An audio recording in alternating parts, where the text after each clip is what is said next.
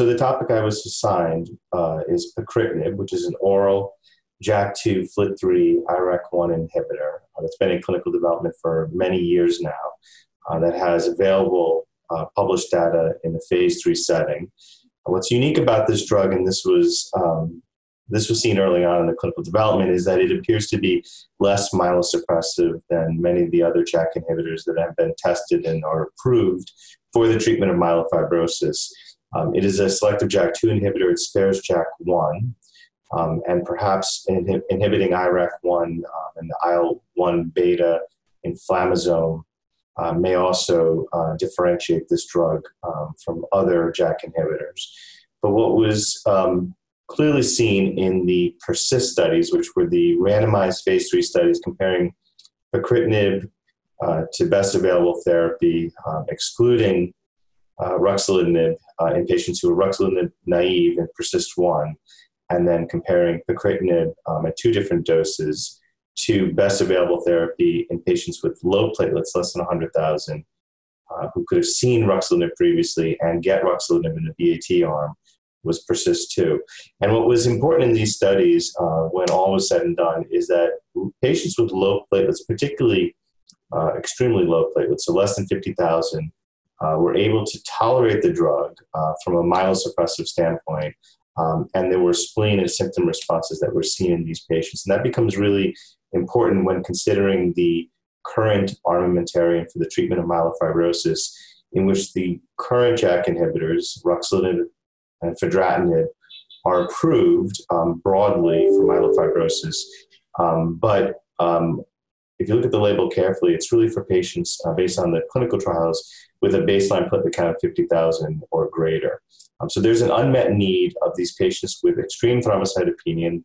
Extreme thrombocytopenia has been shown in multiple studies to be associated with poor survival, high transformation rates of acute leukemia, um, and is a independent prognostic variable uh, that's incorporated in the DIPSS Plus, for example. And it represents an unmet need. Um, and these patients um, often are the myelodepletive phenotype of um, low blood counts. Um, they often don't have massive splenomegaly, um, and they um, have limited treatment options. So pacritinib would offer uh, the potential to treat these patients with low platelets.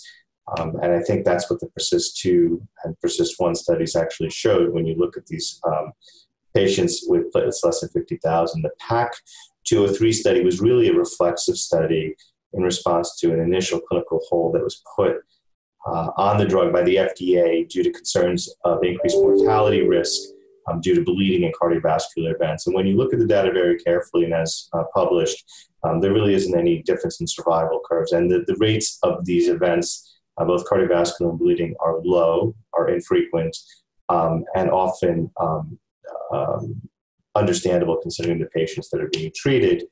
Um, and the PAC 203 really was a dose finding study, a phase two study looking at 200 milligrams twice daily, which was the winning arm in PERSIST 2, um, and uh, 100 uh, twice daily, 100 milligrams once daily, uh, and was very PK driven.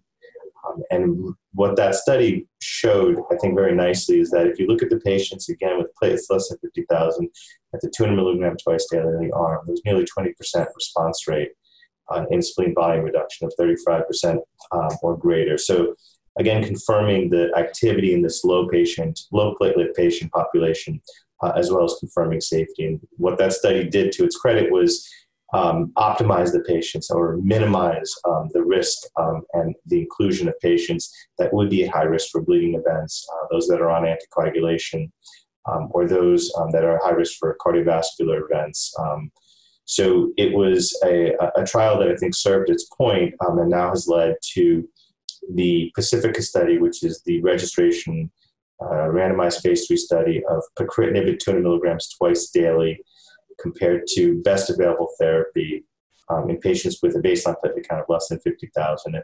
Best available therapy in the study would include ruxolitinib um, at 5 milligrams once a day or twice daily. Um, so this is an important study that is ongoing. I would encourage those in the community, physicians and patients, to consider enrollment in this important study uh, as it would allow, uh, hopefully, eventually access uh, to many patients with low platelets, either upfront or second line, uh, to pacritinib.